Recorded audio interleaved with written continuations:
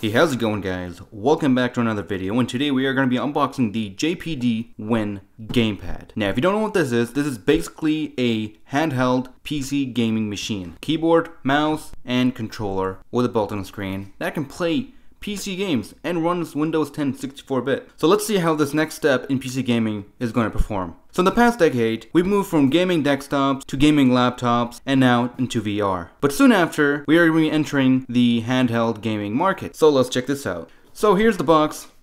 Alright, nothing special, all around. Pretty simple. Now if we open it here, there's actually a Windows 10 key right there. And I'm just hiding it from you guys so you don't steal my key.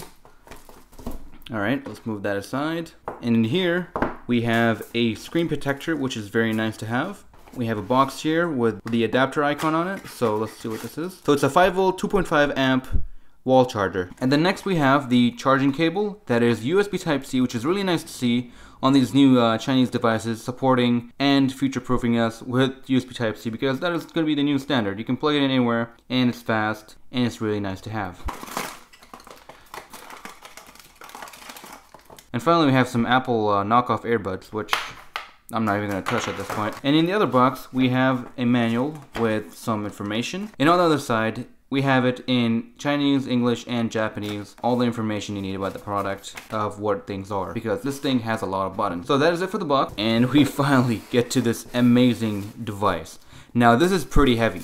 Believe it or not, it, it is pretty heavy. But it is the good feel kind of heavy. It feels really solid in the hand. It pretty much just feels like a premium device. It is a very, very premium feeling device right now. So uh, let's see how much this thing weighs. So this thing weighs 669 grams, which is not bad at all for a handheld gaming PC. So on the top we have a glossy metallic finish that is made of a hard plastic and on the front we have some ventilation holes. On the left side we have a speaker and on the right side we have another speaker. On the back we have the R1 and R2 buttons. We actually have those, right? They're kind of wiggly but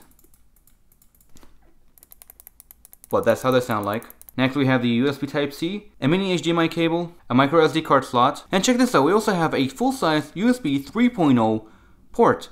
And that is pretty damn amazing for what this device is. It's a fully fledged computer, as well as a headphone jack right here, and L1 and L2. On the bottom, we have a QC sticker, some information, um, ventilation or speaker, and the fan controller right over here. You can turn it off, go low, or go high with the fan. So that is it for the outside, so let's open this bad boy up. Check that out. Look at these controllers. Pretty decent feeling buttons. The the analogs actually remind me very much of the PlayStation Vita controllers, which I actually very much like. They're just smooth and wiggly. Um, these are actually very nice rubberized texture right here. The D-pad is not bad. It's not tactile as I would like, but it is still very, very good, especially if you're playing emulator games. Uh, let's unpeel this right here. Over here we have a input switch, which is a D input, mouse input, and Xbox input or X input. So mouse input, which pretty much uh, transform these analogs into a mouse pointer, which is pretty cool. So we got a full-size keyboard, including arrow keys, as well as a print screen and insert and scroll lock. We got L3 and R3 extra buttons, start select, volume controls, Xbox, and power. And on the bottom we have the FN key to activate the F1 to 12 keys, as well as a Windows key. Alright, so before we fire this up, I just want to let you guys know that the keyboard here is tactile and it feels pretty damn good. So here's what it sounds like. So that is pretty damn satisfying. And the uh, spacebar is uniform all around. Alright, so enough talk, let's power this up. Got an LED indicator over here. I think that's a microphone right there too. And we're in guys. Here's the mouse. That is the mouse pointer. Really cool. And yes, it is touchscreen. Very, very responsive. Now you can see that is tiny. Look at that, it's tiny. Look at this tiny start menu. It's beautiful. Okay. Alright, calm down. Now the screen here is a 5.5 inch 720p IPS screen and it looks pretty damn beautiful. Uh, let's see how bright this can get. Right now it's at 40% and that is 100%. Let's turn off the lights and see what this looks like at night. So it's actually really decently lit um, uniform all around, and it just looks very beautiful. But one thing is, you guys can probably hear that, and that is the fan going in the background. Now it's going at 100%, so take a listen to this. Alright, now if you flip this over and change it to minimum or low, there's what it sounds like. So not bad at all. So at this point, I have nothing to show right now. I have to download some games, get some apps, and show what this bad boy can do because this is very very exciting. So what I'm going to do tonight is hop in bed, download some games, install Steam, and enjoy this magnificent device. So I'll see you guys in maybe a week. And we are back. So this is actually two weeks later and I have beeped up this device by a whole lot. I'll show you what I've done in just a bit. But first, let me show you a couple games that I can play on this device with no issues whatsoever.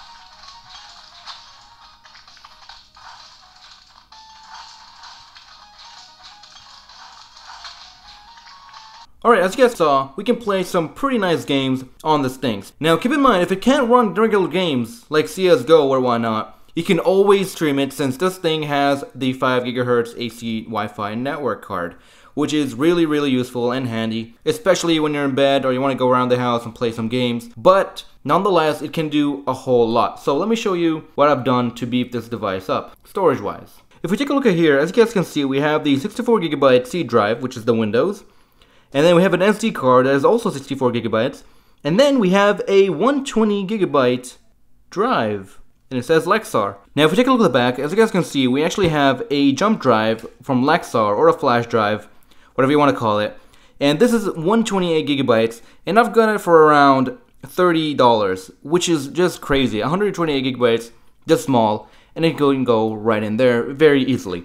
Plus, if that's not enough storage, you always have the SD card which you can put in whatever amount you want, up to 256 gigabytes. So I mean, we're almost at 750 gigabytes if you get a higher size flash drive and a higher sized SD card. So expandability, it is there and it goes very nicely. So what I've actually done here is I use the SD card for videos and movies and the flash drive for Steam games. So what I could do is plug this into my computer, download the games I want and transfer them that I already have downloaded and pop them in back into this device. And likewise with the SD card for video, which is pretty damn awesome. So we can pretty much fill this up with tons and tons of awesome content like emulators, movies, shows, games, I mean, you know, you name it. But anyways, guys, hope you guys have enjoyed this video and found it helpful. Stay tuned for the review where I'm going to go in depth into this device and reviewing every aspect of it. Of games to entertainment to work, editing, you know, you name it. I'm going to be testing it on this device. Now, no, it is not that powerful, but you can definitely do a lot with this thing.